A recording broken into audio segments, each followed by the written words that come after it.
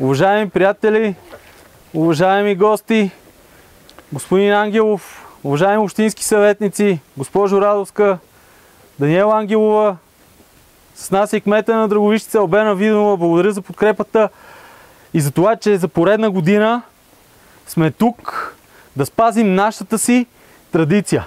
Да отбележим на това място, на днешната дата, годишния от рождението на Васил Левски, апостолът на българската свобода.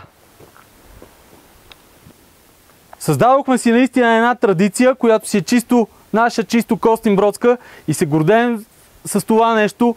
И както виждате, нашите дейности тук в двора на Шейковския манастир, както разбира се и на други хора, които помагат за развитието на манастира, го превръщат в едно прекрасно място, съхраняващо паметта, съхраняващо духа, съхраняващо религията. Относно годишнината на Левски, каквото и да кажем за апостола, винаги ще бъде малко.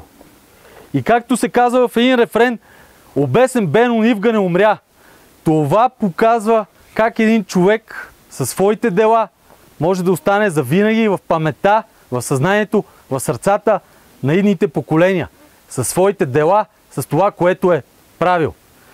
Защото, както знаете много добре, историята не помни предателите. Даже относно Левски се водят все още спорове кой, как, кога е предал Левски, не е ясно. Но историята помни героите.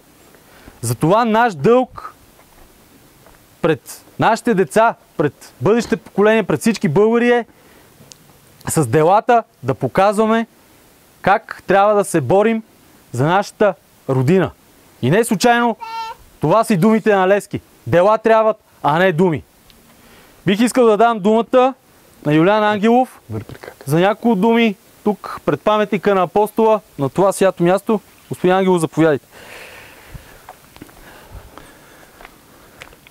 Брата и сестри българи, както каза Ники Борисов, вече се превърна в традиция това да почитаме деня на рождението на великия българин Васил Левски, тук в Шиковския манастир.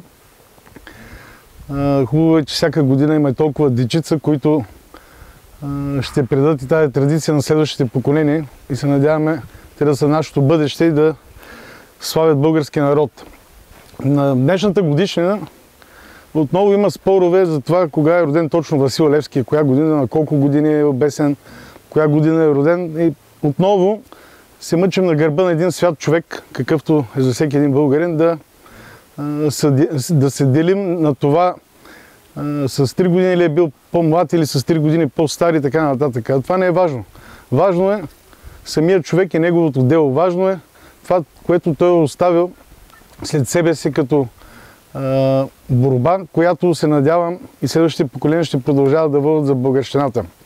За нас е важно е, че апостола успя да пробуди българския дух в уния тежки времена по турско иго, по турско робство.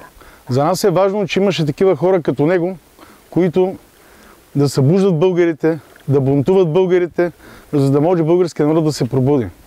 За съжаление, в днешно време виждаме един български народ, който е разделен по всички теми. В днешно време българите сме едни срещу други за всяко нещо.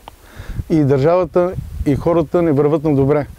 Надявам се, че в, като се връщаме назад в историята, виждаме такива личности като Васил Левски, който е търсил обединението, а не разединението.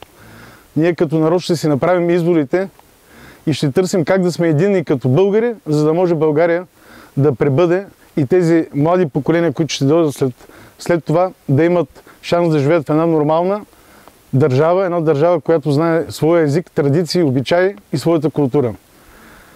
Вечна памет на апостола да живее България. Да живее България. И говорейки за герои, бих искал да добавя и да покажа приемствеността на историческите събития. Сред нас са и наследниците на големите войводи на ВМРО, на Тома Радовски, на Стоян Малчанков, които, на които им благодарим, на техните наследници, че винаги са с нас и съхраняват родолюбието и патриотизма в наши дни. А сега да паднем на колене за минута мълчание и да преклоним глава пред апостол и неговото дело.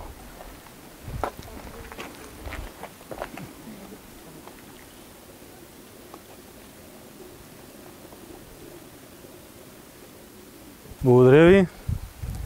И разбира се, накрая може да поднесете цветята пред паметника и да сведете глава пред лика на апостола.